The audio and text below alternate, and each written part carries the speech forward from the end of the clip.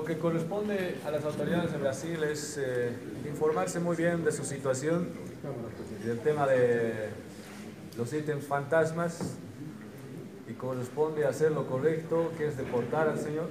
Debería retornar al país para que pueda rendir eh, bueno, las cuentas que tiene ante la justicia, principalmente con la alcaldía de Santa Cruz. No, no sería nada loable definitivamente que pueda ceder eh, asilo como gobierno de Brasil.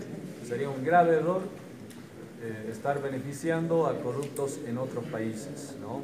Entonces exhortamos a las autoridades eh, brasileras, brasileñas que se informen respecto de su situación del señor Parada y puedan inmediatamente, en coordinación con las autoridades judiciales de Bolivia, deportar que este señor pueda rendir cuentas ante la justicia boliviana, particularmente con la ciudad de Santa Cruz y la alcaldía de Santa Cruz. Sobre este hecho, es posible que se puedan conocer más elementos, eh, ampliar investigaciones. Hubo algunos voceros del MAS que intentaron implicar este hecho de corrupción, que está planteado de esta forma, de, como denuncia de corrupción, con hechos políticos, como parte de financiamiento hacia el movimiento ciudadano del año 2019. ¿Es posible ampliar, llegar a ese escenario? Bueno, la investigación va a determinar eh, la verdad de los hechos. Sería eh, muy prematuro o muy irresponsable por parte de mí eh, afirmar algunas versiones o apresurarme sobre este hecho de que haya sido parte o no de, de lo que menciona. Sin embargo, es necesario exigir y exhortar a la justicia que acelere la investigación que sin duda eh, implica a muchos eh, funcionarios, también a políticos que con seguridad son parte de este hecho. Y esperemos que el pueblo boliviano, todo el departamento y la ciudad de Santa Cruz eh, sepa la verdad de este hecho y que no se vaya a dilatar 5 años, 10 años, 15 años hasta hacer cansar a la sociedad y que dejen el olvido o desapercibido este tema de los ítems fantasmas. Implica, eh, no hay duda, de acuerdo a los primeros informes, a muchísima gente, eh, se habla de muchísimo dinero y por supuesto, con seguridad, eh, están pues algunos políticos implicados de frente en este hecho y que las investigaciones darán la celeridad y dirán la verdad de este hecho cuando llegue a la conclusión de, su informe, de su investigación. Presidente, por favor, conformará eh, legisladores principalmente de Creemos, quienes posiblemente serían involucrados en los ítems fantasmas. Son seis diputados de Creemos. Dentro de la Asamblea Legislativa se podrá hacer, el presidente de diputados lo decía que se puede analizar, enviarnos a la aclaración técnica, pero estos no poderes no tendrían acuerdo. Entonces, ¿cómo se podría eh, subsanar y fiscalizar en la Asamblea Legislativa? Bueno, tendría que estar eh, sujeto a la investigación eh, la justicia ordinaria, en este caso ya tomaron eh, la tarea, comisiones fiscales, de investigar absolutamente a todos los implicados. Si los diputados son parte o no, seguramente la investigación lo va a determinar y la Cámara de Diputados lo verán en el caso de que sea fidedigno este hecho, esta información, esta investigación.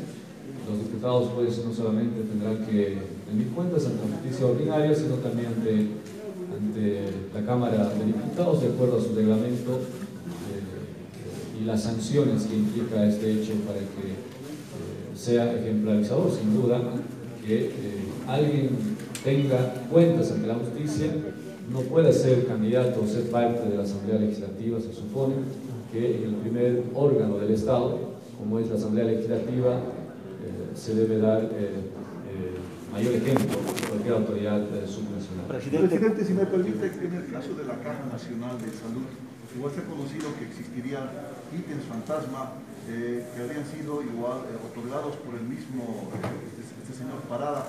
¿Qué tendría que pasar en la Caja Nacional de Salud?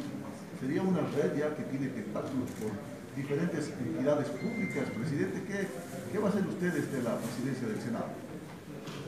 Bueno, el tema de la caja ya es muy recurrente. Hace mucho que nosotros habíamos eh, informado de que ciertamente se está evidenciando día que pasa mayores hechos de corrupción al interior de la Caja Nacional de Salud, incluso petrolera, y ahora este hecho de la alcaldía de Santa Cruz eh, involucra a la Caja Nacional.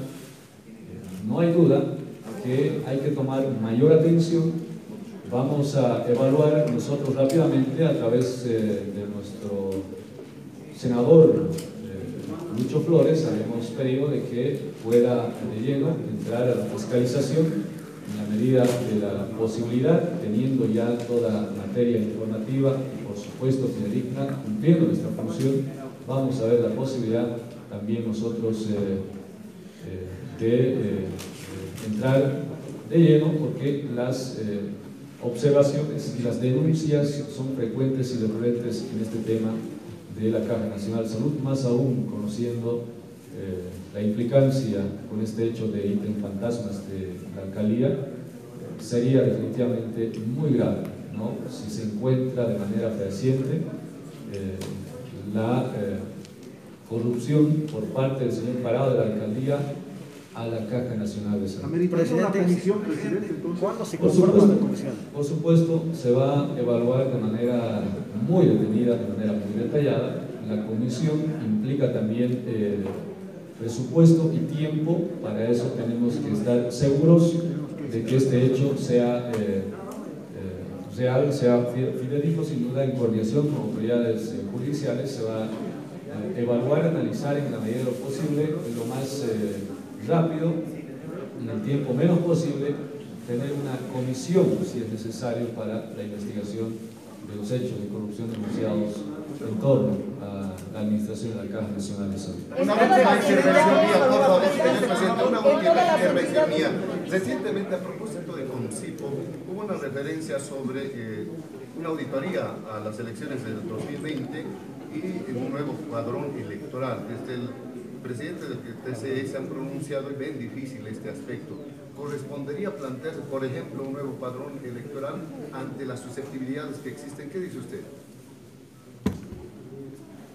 La verdad eh, es eh, inconcebible primero lo que expresa la vocal que denunció el Tribunal Supremo Electoral, ¿no? de que con este padrón el más siempre va a ganar.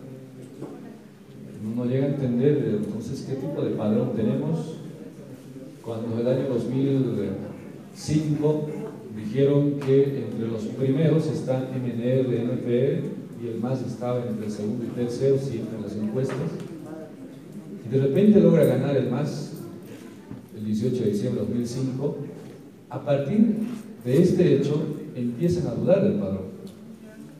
Bueno, nunca se había ganado en, en algunas circunscripciones con más del 90%.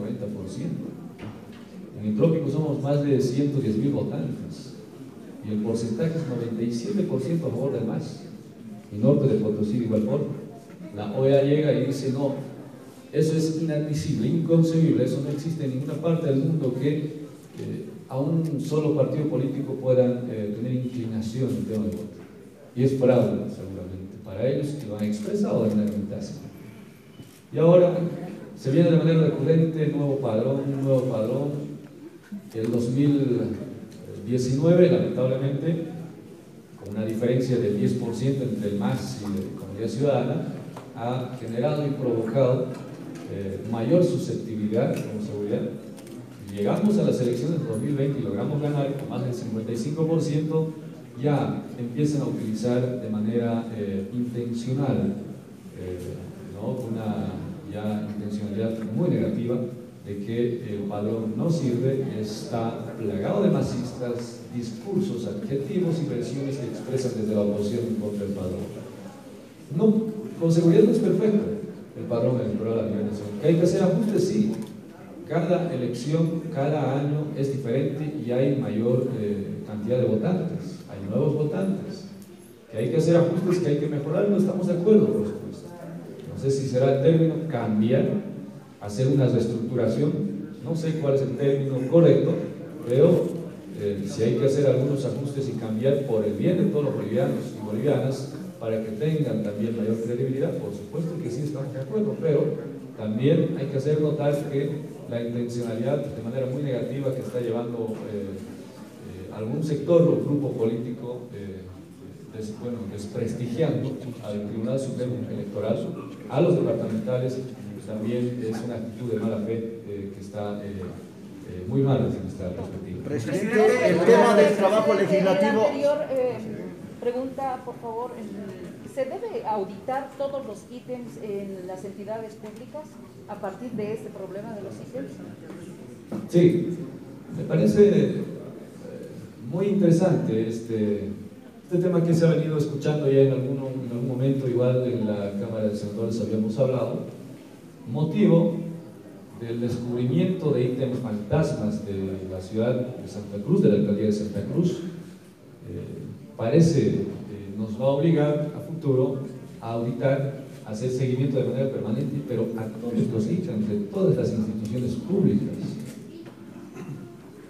La institución pública es grande, es innumerable.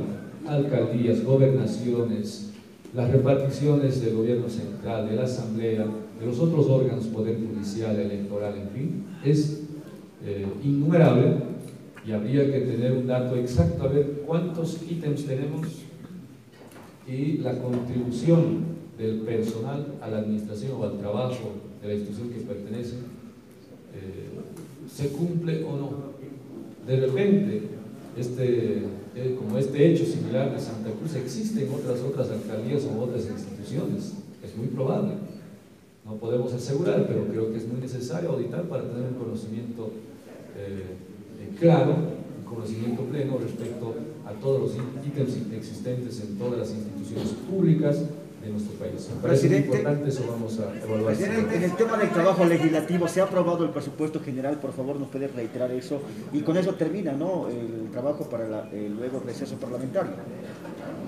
Sí, hemos, eh, bueno, esta semana de manera maratónica aprobado eh, cuatro leyes entre ellos, lo más importante, la Ley 004 que aprueba el presupuesto general del Estado para el 2022, aprobado en diputados, nos deriva a Senado en grande y en detalle. Bueno, anoche, a, llegar a las 9 de la noche, hemos eh, sancionado este proyecto de ley y hemos derivado del Poder Ejecutivo. En par eh, de días, seguramente, eh, va a promulgar y esto se va a aplicar a partir de 2022, sin duda enfatizando mayor recurso y presupuesto a salud, educación y producción e inversión pública. ¿no? A diferencia del 2021 hemos subido, yo diría, 2.9% del presupuesto para el 2022, lo que significa que la reconstrucción y la reactivación económica es muy evidente, principalmente en la macroeconomía, es necesario, sin duda, empezar a trabajar eh, con eh, las eh, instituciones descentralizadas y los gobiernos subnacionales, así como gobernaciones y alcaldías, para concretar las necesidades prioritarias que tienen los proyectos parados o paralizados que tienen para o a partir de 2022. ¿Será promulgado antes del receso parlamentario? Con seguridad será promulgado antes del deceso. Bueno, y eso depende del Ejecutivo, esperemos que sí.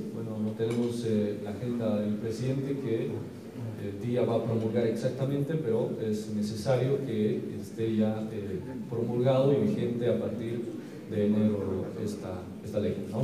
Presidente, la última pregunta, por favor. El municipio ha indicado en sus determinaciones que va a denunciar a los organismos internacionales que existe persecución política y exigen la liberación de presos políticos. El día de ayer, supuestamente, se